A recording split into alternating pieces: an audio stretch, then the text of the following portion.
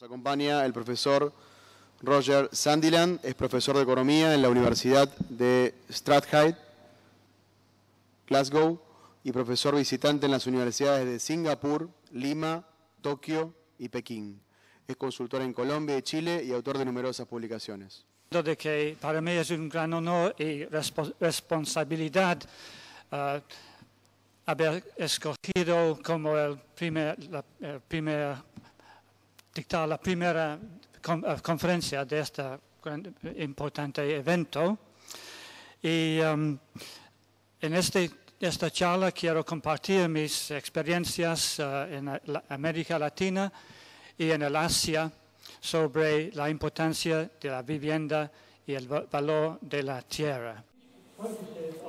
Mi presentación se centra en el papel que tiene ah, la vivienda y en particular voy a hacer referencia a lecciones particulares aprendidas de China, aparte de las experiencias de Colombia y Singapur donde he trabajado muchos años. Desde que se abandona la locura del maoísmo, China ha logrado un crecimiento económico rápido y sin precedentes. El ingreso per cápita actual supera los 6 mil dólares en poder de compra. Lo que es destacable acerca de China es la extremadamente baja proporción de su población que con este nivel de ingresos aún así vive en zonas rurales que no han sido urbanizadas. Lo que se llama HOKU, el sistema de licencias, es el que tiene fundamentalmente la culpa de esta situación. Restringe severamente la migración de, de familias rurales empobrecidas que buscan una mejor vida. Esto explica por qué la brecha entre los ingresos rurales y urbanos es inusualmente grande e incluso está creciendo. Lo que es aún peor, dentro de las áreas rurales y urbanas, la inigualdad también está aumentando. La tierra es la que subyace a estas tendencias. El Banco Mundial recientemente ha elaborado una evaluación importante de las perspectivas de China para los próximos 25 años. Estima que, en términos reales, los valores de la tierra en general se están duplicando cada 12 años. Insisto, en términos reales. En las principales ciudades están creciendo a un ritmo mayor, a pesar de las subas y bajas asociadas con la especulación. Lamentablemente, el Banco Mundial saca conclusiones extrañas a partir de esta información y cito el informe que se publicó el mes pasado. La tierra junto con la inversión son los que han alimentado los extraordinarios niveles de desarrollo de infraestructura de China y su crecimiento urbano e industrial y ha contribuido a mantener la estabilidad social. Fin de cita. En primer lugar, esta declaración habla de la inestabilidad generalizada y las protestas violentas conectadas con la riqueza corrupta de tierras rurales en China. En segundo lugar, argumenta que la tierra no, genere- no genera perdón, esta riqueza. La tierra no genera la riqueza, sino que la tierra es el receptor pasivo de la riqueza producida por los factores activos de la mano de obra y el capital. Un país tan rico en recursos naturales, sin mano de obra, capital y conocimiento, no produce nada. Si la tierra está fija, como lo sostiene, la producción puede aumentar a través de más mano de obra, capital o tecnología. En 1897, Henry George distinguió el valor de la producción y el valor derivado de la obligación. Los economistas neoclásicos ignoran esta diferenciación y toman todos los ingresos como medidas iguales de contribuciones productivas. Así, justifican la apropiación privada de una renta monopólica. Lo que es peor aún, al aunar la tierra con el capital, como lo hacen, no hay renta, sino que todos los ingresos son de naturaleza similar. Y por ende hay utilidades provenientes de la empresa. De esta manera, el economista neoclásico evita la cuestión ética y naturalmente esta teoría ni explica el progreso ni tampoco por qué el progreso va de la mano con la pobreza. Ahora voy a explicar brevemente las principales fuerzas económicas que impulsan la urbanización y de allí el impacto en el valor de la tierra y la inigualdad. El cambio en el centro económico de grado de los países convencionalmente ha sido explicado por las fuerzas de empuje y de tironeo de la demanda y la oferta. No obstante, la distinción entre ambos no es tan clara en razón de que estas fuerzas interactúan. La oferta de un sector, en definitiva, es la demanda de la oferta de otro sector de bienes y servicios y su intercambio. Sin embargo, consideremos primero la demanda. En las primeras etapas de desarrollo, la gente debe gastar gran parte de sus ingresos en alimentos y en necesidades básicas, por ejemplo, vestimenta y techo. La agricultura entonces es la que domina. Dado que es intensiva en el uso de la tierra, esto fuerza a la gente a vivir en comunidades rurales diseminadas. A medida que crece el ingreso, se gasta más en alimentos, pero menos en una como proporción del ingreso. La proporción aumenta para otras cosas. La oferta responde a la demanda y la mano de obra y el capital se ven impulsados hacia la producción de ah, bienes y servicios manufacturados en zonas urbanas. Consideremos ahora lo que tiene que ver con la oferta. La Revolución Verde, con sus variedades milagrosas de semillas y mejor capital, ofrece un importante potencial de ganancias. ¿Por qué es entonces que la productividad real aumenta? Ah, digamos, a niveles que son desilusionantes. Una respuesta superficial sería que ha habido una subinversión en agricultura. Una respuesta más profunda indica, y cito, que los mercados se terminan depurando en el extremo más delgado. Si la productividad y la oferta potencial aumentan más rápido que la demanda efectiva, los precios caen hasta que la oferta real se corresponde con un menor incremento en la demanda. Esto es, el incremento en la producción no es lo mismo que el incremento en la productividad.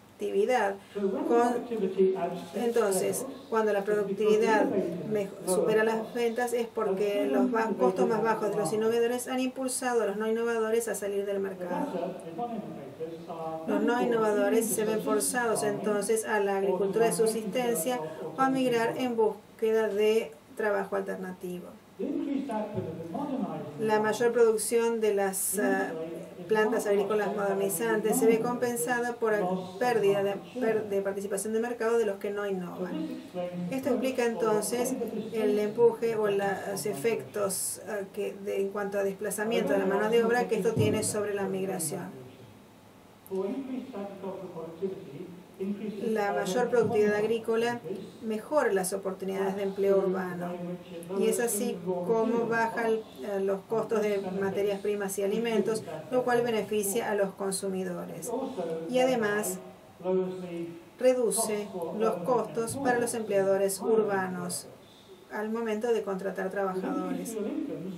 Con ingresos reales mayores hay una mayor demanda de productos primarios, esto es productos de la agricultura. Los productores agrícolas pueden invertir más entonces para mejorar la productividad, si bien esto va a seguir desplazando la mano de obra agrícola. Y no logra compensar los costos que caen a raíz de los requisitos de mano de obra.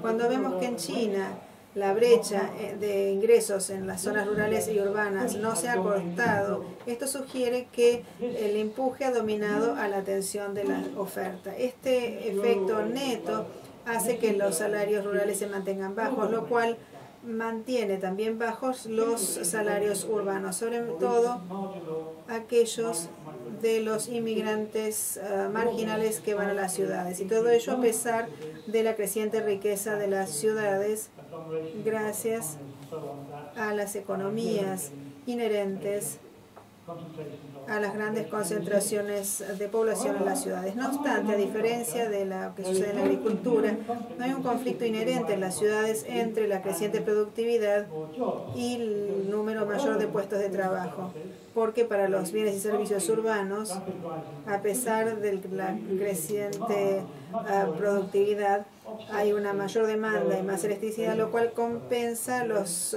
costos unitarios de mano de obra y por ende no hay un conflicto cuando aumenta la productividad en la agricultura, sino que depende de dónde está la elasticidad de la demanda y dónde cae esa elasticidad.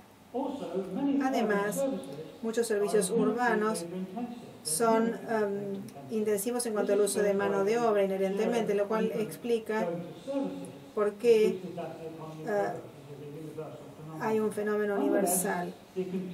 Sin embargo, el conjunto de mano de obra rural redundante, desesperada por compartir la prosperidad relativa de sus contrapartes citadinos, indica que las ciudades necesitan hacer más que simplemente garantizar que los uh, puestos de, de trabajo citadinos puedan dominar lo que sucede con las innovaciones que desplazan la mano de obra en la agricultura en lugar de ser a la inversa. Voy a tomar ahora dos lecciones potenciales de Colombia y Singapur. Primero, la experiencia colombiana. El crecimiento de la Colombia, abundante recursos, está por debajo de su potencial. Sin embargo, su población ha crecido rápidamente de 10 millones en 1950 a cerca de 45 millones en la actualidad. En 1950 la población urbana era el 33% del total. Para 1960 representaba el 45%. Este es un porcentaje similar a lo que prevalece en la China de hoy. Sin embargo, en ausencia de vivienda adecuada en ubicaciones centrales, una gran proporción de los inmigrantes se estableció en la periferia de las ciudades, en los que se llaman barrios de invasión. La industria y el comercio claramente necesitaban una mejor, ah, digamos, una fuerza de, trabajo mejor, uh, digamos, donde que tuviera mejores viviendas. Y también necesitaban fábricas, oficinas, negocios e infraestructura social. Estos proyectos de construcción tienen dos objetos o dos elementos en común. Por un lado, deben ser duraderos y además son muy costosos en relación con el ingreso. Así, estas inversiones casi siempre necesitan de financiamiento externo que se pueda devolver a lo largo del plazo externo durante el cual los edificios brinden sus servicios. Sin un financiamiento a largo plazo en términos accesibles, estos hogares y fábricas e infraestructura no se construirán. En el caso de los hogares, el costo de servicio de la deuda mensal debe ser inferior a la renta para bienes existentes comparables. Este es el entorno en el que el Plan Nacional de 1962, conocido como el Plan de las Cuatro Estrategias, se ah, puso en práctica. Fue Franklin Roosevelt y su asesor personal en la Casa Blanca, Lochlin Carey, quien ah, lo promovió. En 1949, él lideró una misión del Banco Mundial a Colombia y se quedó como asesor hasta su muerte en 1993. Él escribió un documento importante para la conferencia del hábitat de Naciones Unidas en Vancouver de 1976 y redactó su plan de acción sobre uh, cómo recapturar la plusvalía o la captación de plusvalía. Como expresó Curry en la conferencia, y cito, es un ejemplo sorprendente de nuestra ah, de nuestro alfabetismo económico, el hecho de que hayamos aceptado la apropiación privada de ganancias creadas socialmente, dejando que los afortunados propietarios y sus herederos Ah, no tributen ingresos al Estado Nacional, al cual no hay como en general. El caso de la captura de una ganancia monopólica pura de la tierra urbana creciente se ha visto afectada por el hecho de no poder distinguir entre la tierra y el capital. Dios dio la tierra y el hombre hizo el capital, y también entre tierra y edificios, y también entre la inflación. Uh, y la que se puede atribuir a la escasez pura. El plan de 1972 de Cuba estaba diseñado para acelerar el desarrollo de Colombia, promoviendo el empleo, urbano. En breve, había cuatro estrategias interrelacionadas. Un nuevo sistema de financiamiento de la vivienda junto con un tipo más compacto de diseño urbano. En segundo lugar, la promoción de exportaciones no tradicionales, garantizando que el tipo de cambio ya no estaría sobrevaluado de manera crónica en la forma ah, digamos, que la, la inflación no se refleja en el tipo de cambio. En tercer lugar, una estrategia para mejorar la productividad agrícola, en parte a través de una mayor inversión que se esperaba resultara de una creciente demanda asociada con el crecimiento acelerado de los ingresos como lo proyectaba en su plan, junto con la consolidación de los establecimientos agrícolas a medida que los productores marginales iban a las ciudades. Y por último, una mejor distribución del ingreso en relación con las tres primeras estrategias, pero complementada por una digamos, aplicación tributaria más progresiva, notablemente capturando el creciente valor de la tierra a través de un impuesto a la valoración. La primera prioridad era garantizar que las familias urbanas pudieran disfrutar de mejor vivienda. De allí que haya habido tres clases de viviendas principales y de financiamiento de la vivienda. Por un lado, establecimientos con ah, lugares hechos de materiales de pobre calidad. El financiamiento provenía de los ahorros personales de los hogares más de su propio trabajo. Estos barrios de invasión eran de bajo costo eh, y estaban ubicados en terrenos ah, deficientes y carecían de los servicios básicos, pero a veces estaban en sitios centrales en las ciudades, valiosos pero deshabitados. deshabitados perdón. Esta tierra tenía previsto un desarrollo intensivo con mejores estándares y con edificios de altos que no podían ser construidos por amateurs no capacitados en estos barrios de invasión. La segunda clase consistía en viviendas bajo licencia para los pobres con grandes subsidios de un instituto estatal con fondos inadecuados. Estas unidades eran superiores a aquellas que estaban en estos barrios de invasión, pero seguían siendo de baja calidad y estaban en ah, tierras pobremente ubicadas y de bajo valor. El tercer tipo eran ah, viviendas para personas de medios ingresos y de mejor calidad financiados y ah, construidas por el Banco Central Hipotecario monopolista que también disfrutaba de ah, subsidios estatales. Los subsidios afectan al presupuesto eh, nacional. Ambas instituciones, esto es el Banco Central Hipotecario y el Instituto de Crédito Territorial, obtenían su financiamiento a partir de ah, bonos al portador exentos de impuestos que favorecían a los ah, contribuyentes que pagaban más. Durante la década del 60 la inflación promedió el 11%, pero fluctuó en general entre el 5 y el 25%. En el ínterin, los intereses sobre los bonos que acabo de mencionar era un interés fijo a tasa muy baja, lo cual disuadió a los ahorristas. El gobierno forzó a los fondos de pensión y otras instituciones a comprar estos bonos. El gobierno necesitaba subsidiar este Instituto de la Vivienda porque había unas grandes pérdidas asociadas con la alta tasa de no pago entre quienes alquilaban y tenían bajos ingresos. Esto se comparaba con la eh, poca, digamos, tasa de mora del Banco Central Hipotecario que le prestaba a grupos de altos ingresos.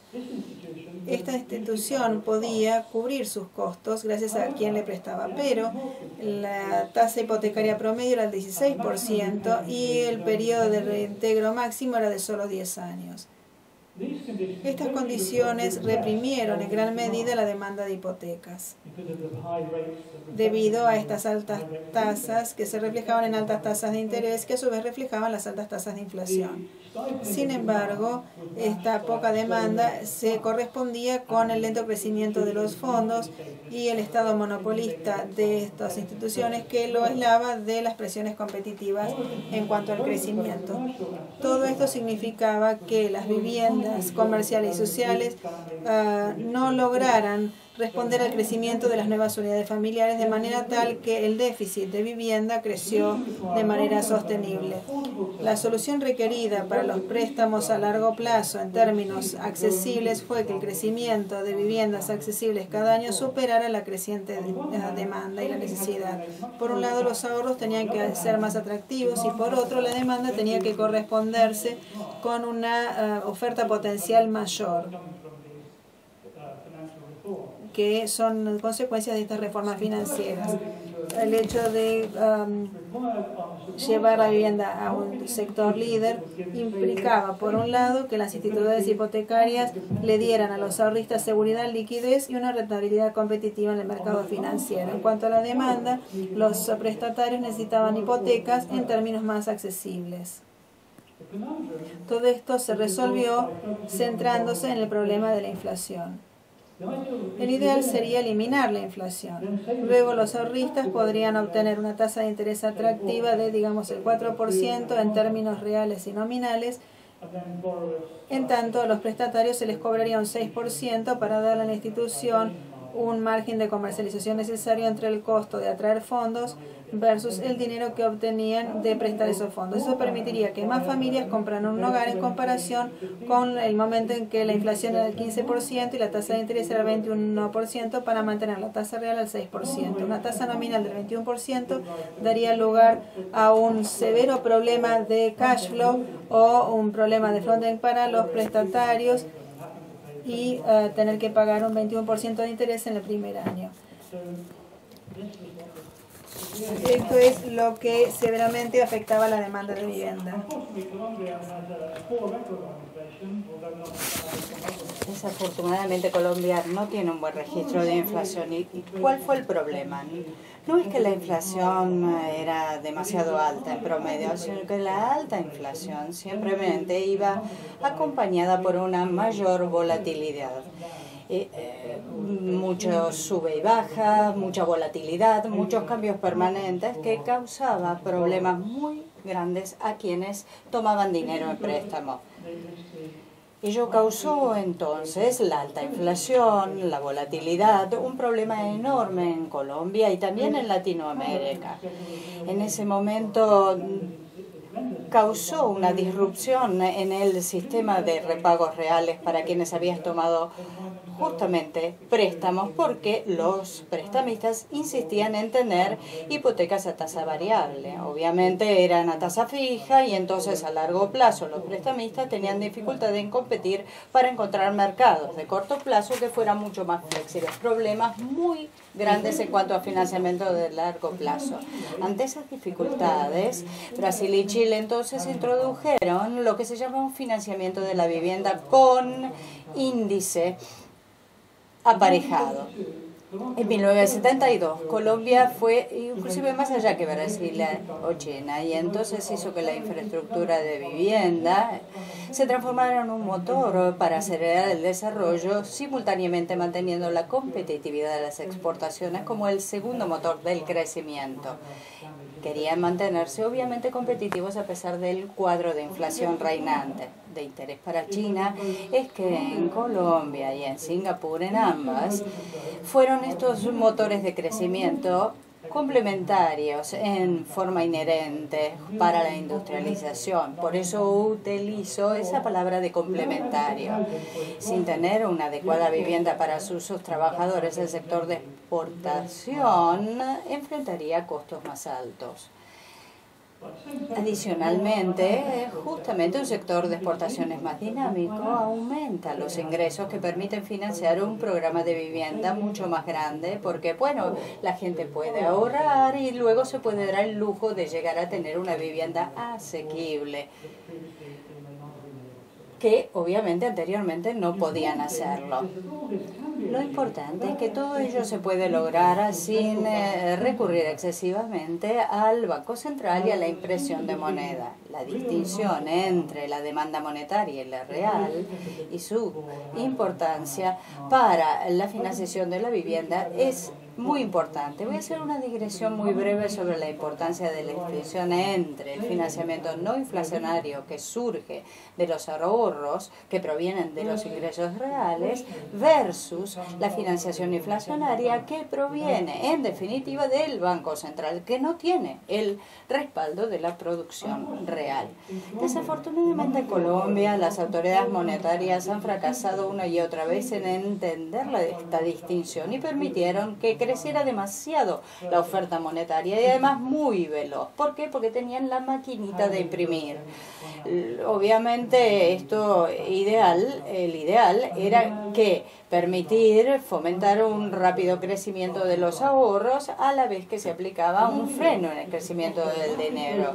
La idea justamente de fomentar este rápido crecimiento y mantener el freno en el crecimiento de la demanda monetaria definió la exclusión de los ahorros y de los depósitos a plazo. La distinción entre los depósitos a la vista y a plazo es crítica.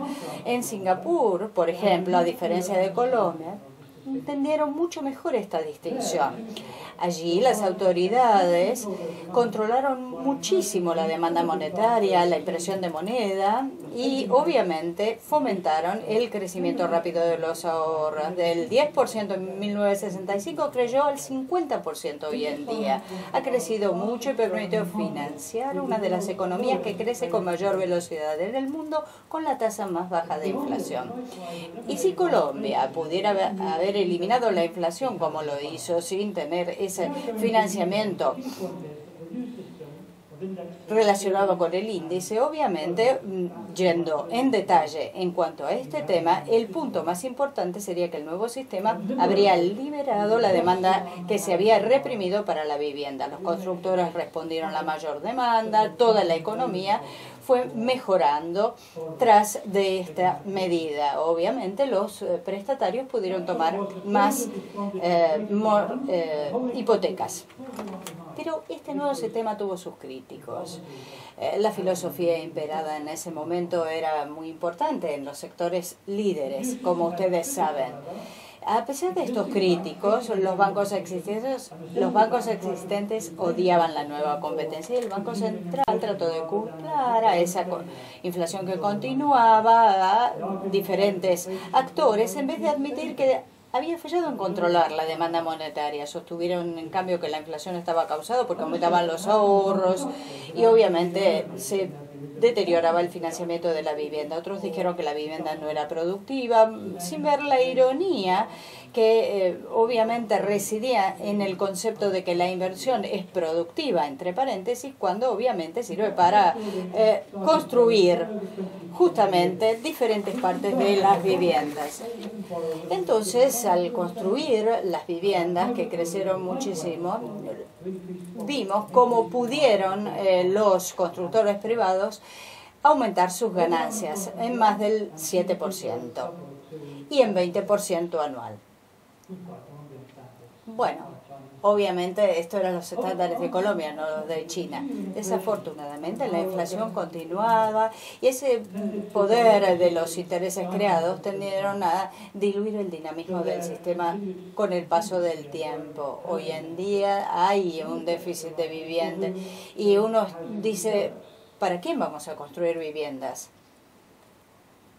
El resultado de esta historia, un poco mixta diría yo, es que a pesar de que el número de viviendas adecuadas, de buena calidad, ha incrementado y ha transformado a las ciudades de Colombia, este tipo de vivienda no se ha mantenido al ritmo del rápido crecimiento de las nuevas formaciones de familias.